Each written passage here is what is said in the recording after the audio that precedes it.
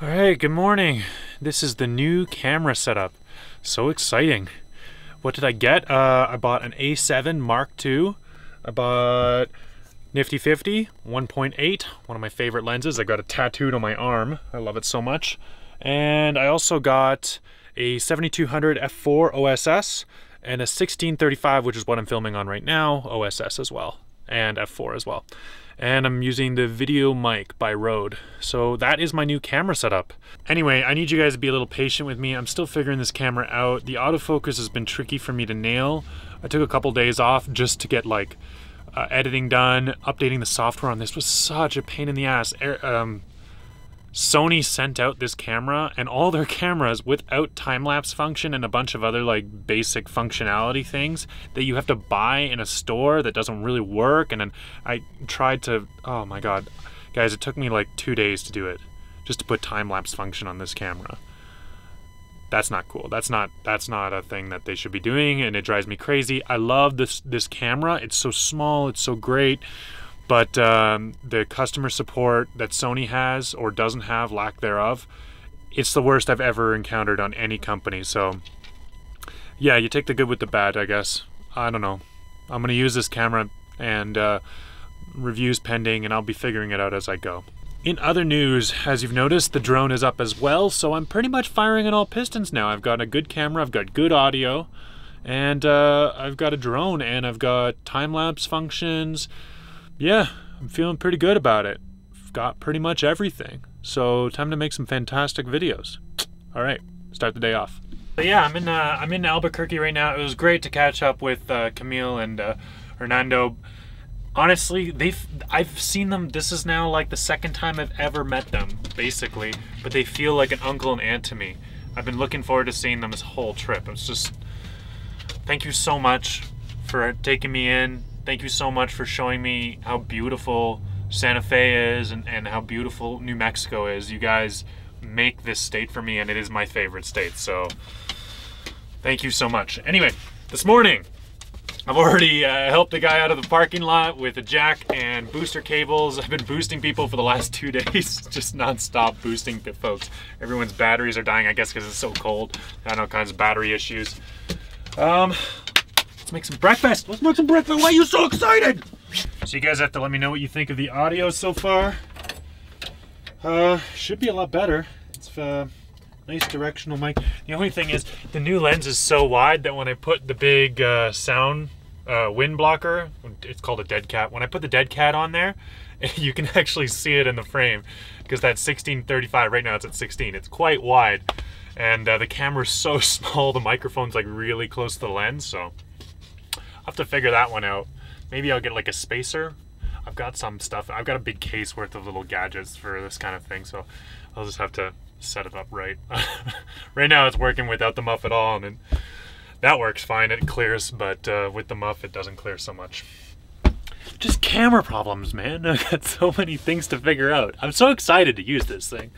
It's a cool camera. Breakfast today is a simple matter of eggs, toast, and some uh, avocado. You know? I love avocados.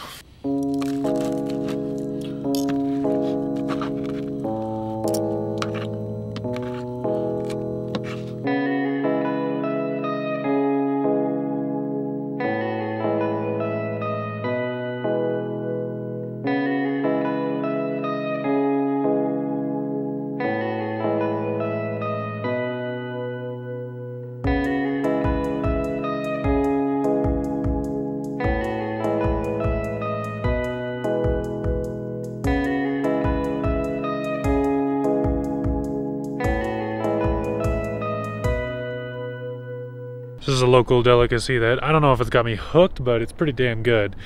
Indian taco, which is uh, Indian fry bread, and then they basically put everything they would in like nachos, and they just like fold it up like a giant taco. It's huge and delicious, and uh, the bread is deep fried and crispy. So good. Thank you very much. Yeah, you too. All right, one Indian taco stuffed on a paper plate because it's a little, bread's a little flimsy. Oh. Just filled with the best things. I'm gonna load it up with salsa. Like a warm sliver of goodness filled up with everything you put into tacos. So good. It tastes almost like a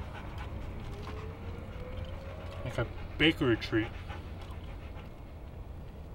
A little meaty dessert. Hmm.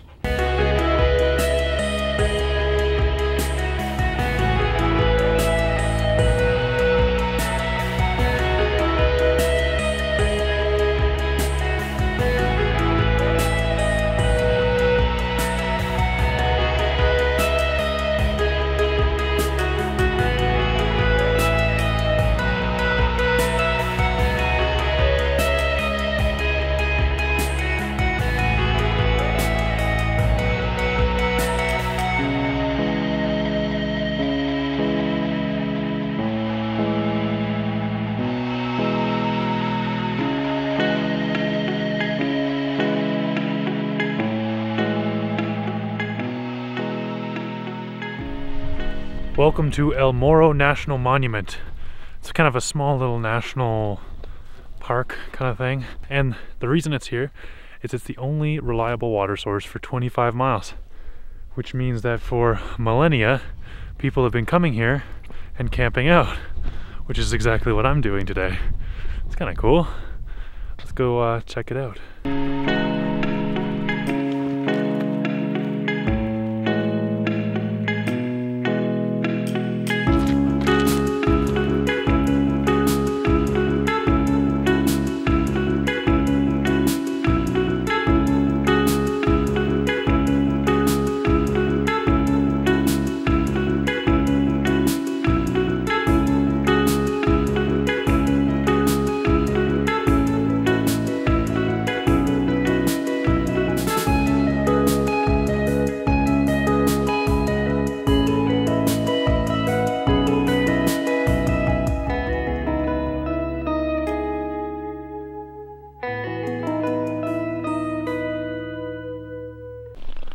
Welcome to the 800 year old town of Atsinna, which means pictures on the rocks. The town was occupied by the Zuni people about 1275 AD, and although there's only a small portion of it that's excavated, you can actually see the rest of the town, which comprise about 800 rooms, from the air.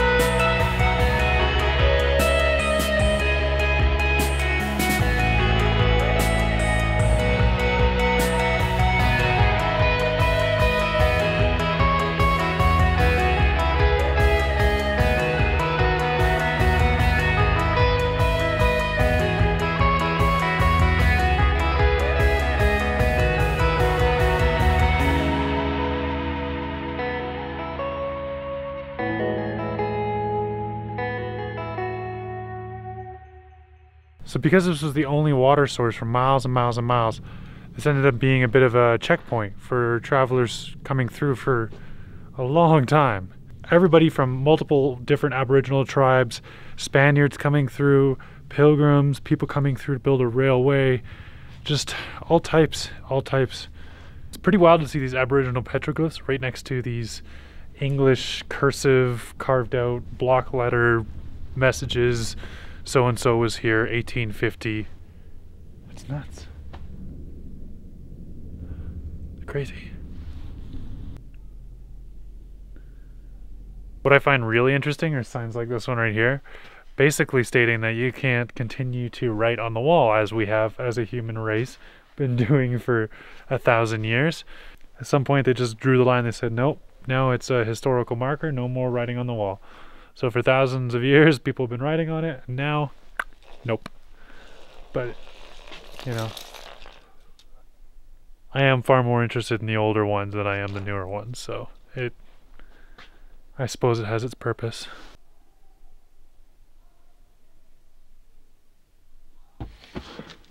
Okay, so along with the park itself, they also have a free campsite for RVs up to 27 feet long. And seeing as mine's about 23 and a half feet, doing pretty good. So I get a nice free campsite. I'm actually going to make some dinner. Um, and I'm cooking an entire fish. I didn't catch this one. Fernando gave this to me before I left, so I'm gonna clean it up, fry it up, and I'm gonna do uh, curry and rice. Should be fun. I Haven't done this yet in the van.